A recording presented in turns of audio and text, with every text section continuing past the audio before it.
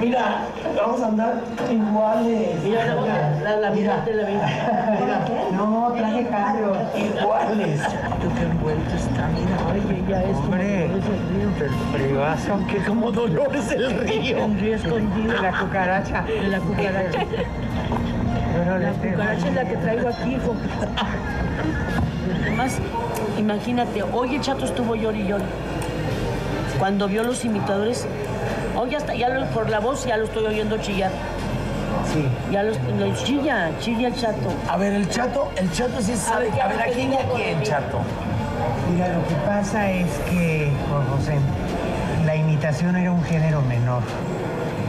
Era un género, era la cortina, el micrófono de pie, y entre un número y otro salía una Evelyn, un chirrión. Hubo muchos. Pepe Ruiz Vélez, Ferrusquilla. Lo que pasa es que la gente no hay una cultura sobre ese género que Carmen elevó a rango mayor porque de Carmen Salinas, la imitadora, pasó a ser Celia Cruz, la Sonora Matancera, y Carmen Salinas. Entonces fue la primera en caracterizarse. Por eso todo lo que le han dicho, gracias a nombre, porque Carmen y yo somos un canto a la amistad, en un ambiente donde se traiciona, donde se ventila, donde se puede hacer el gran negocio. Yo sigo siendo el primer, el primer admirador de ella como artista y como tal. Gracias, gracias chato. Muchas gracias. Imagínate tener un, un hermano así. Y nos conocemos desde chiquillos. Antes de que fueran boquetones. Ah, le decía, le decía al papá, voy, pa- papá, porque su padre fue el mejor locutor de Monterrey, don Juan Sejudo. Don Juan Sejudo. Y agarra y le dice, le dice, le decía, chato, papá, ¿me, me llevas a la T a ver a mi novia Carmelita? Le decía, "Eh, sí, hijo, véndale, vente. ¿Cuál novia? Tenía un novio ahí. Pero fue que como estaba parado, descubrió Ah, sí, estaba sí, parado. oye, Nos tomamos una foto el chato y yo, ¿verdad? Nos tomamos una foto. No, oíme esto, to- niño soparrón.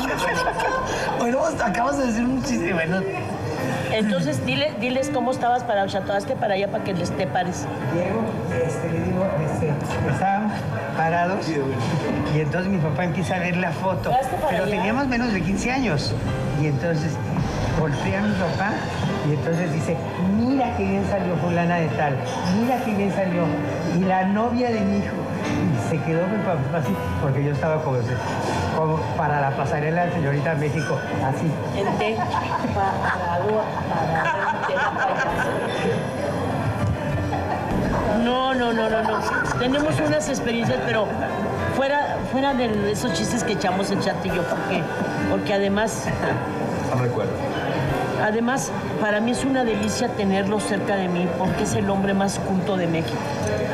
Y bueno, eh, ya que estamos eh, haciendo esta semblanza, pequeña semblanza del chato, eh, yo creo que todos nosotros tenemos en nuestro corazón alguna vivencia, algo bonito que le pudiéramos expresar al chato Sejudo después de escasa una semana de, de haberse ido. Mira, yo la última vez que hablé con el chato fue por teléfono cuando había llegado a su casa y este y me dijo, fíjate que pensé que nunca volvería a ver estas paredes. Y, y me dijo que estaba muy contento, que se sentía mejor, estaba tomando un medicamento alterno. Y este, y bueno, pues yo me quedé tranquila porque dije, ay, qué bueno, ya está mejor, ya puede hablar y todo, pero pues no. A la semana de eso murió. Entonces desde aquí al chatito lo quise muchísimo, era muy divertido, siempre de buena, siempre sonriente, siempre tenía anécdotas que contarte y este y lo vamos a extrañar mucho. Yo para mí fue un amigo de verdad muy, muy querido. Yo hablé con él en los últimos días antes de que, de que falleciera y siempre que se enteraba que yo le estaba llamando con muchas dificultades, pero me contestaba. Y yo tengo una anécdota hermosísima cuando recién nació mi bebé, hace 11 meses. Ya estaba yo en una situación delicada a nivel familiar y él llegó hasta mi casa. Yo no me podía levantar de la cama. Llegó hasta mi casa, subió hasta la recámara sin pena alguna y me gritaba, ¿dónde está mi flor? ¿Dónde está mi flor? Y llegó lleno de regalos, lleno de regalos para, para mi hijo Rafael. Y hoy en día esos regalos del Chato y de Carmen siguen en el cuerpo de mi hijo y no sabes cómo lo recuerdo con un cariño inmenso porque, porque llegó con tanto amor a, a, darme un poco de paz, a darme un poco de aliento y de cariño. Hasta mi casa, que todo el mundo dice, hasta satélite, qué lejos, yo no voy. Pues hasta satélite llegó mi chato, que lo amo. Bueno, yo creo que Chato fue alguien que nos enseñó mucho a todos los que vamos empezando. Nunca se me olvida que de las primeras sonrisas que recibí aquí en Televisa fue del Chato. Yo a él lo conozco desde Monterrey. Siempre le traía sus buñuelos este, de naranja hechos por mi abuela.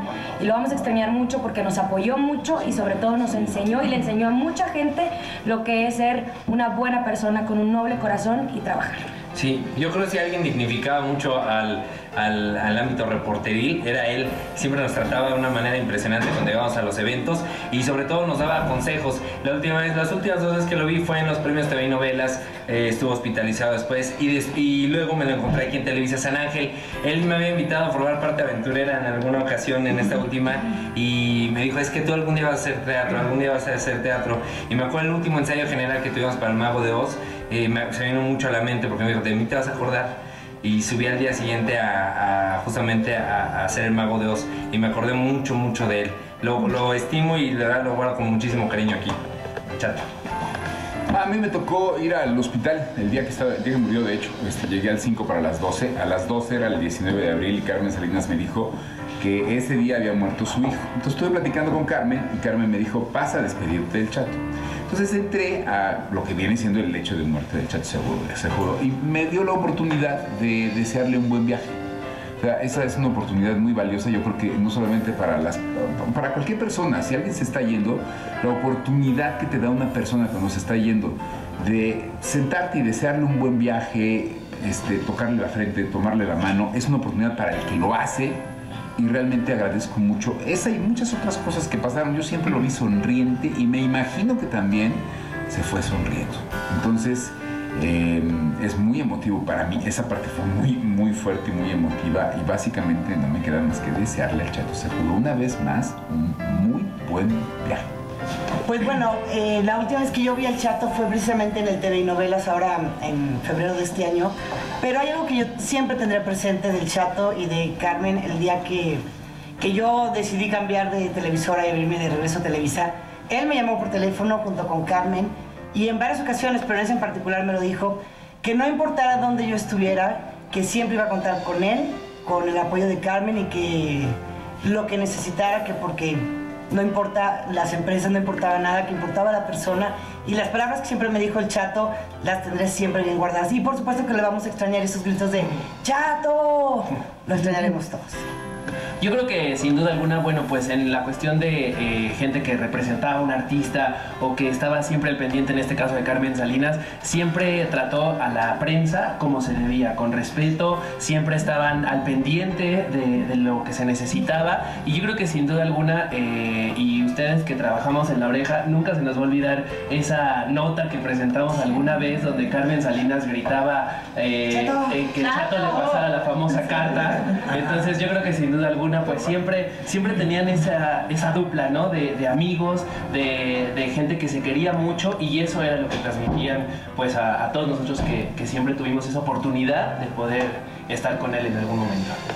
Pues es este, este es el sentir de los compañeros, de la gente que lo tratamos, la gente que, que quisimos mucho al chato, chatito, tú lo sabes, donde quiera que estés, que pues que aquí estás con nosotros, que no te vas, así es que te seguiremos gritando.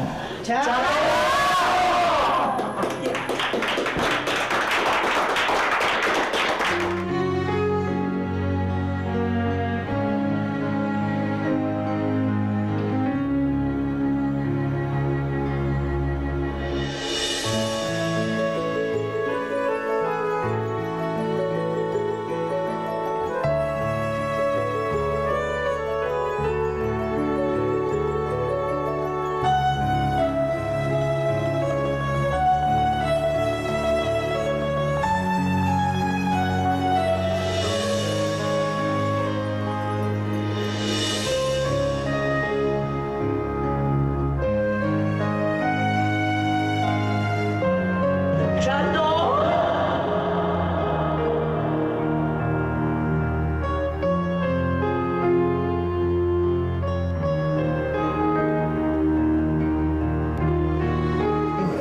Sigo siendo el primer, el primer admirador de ella como artista y como hermana.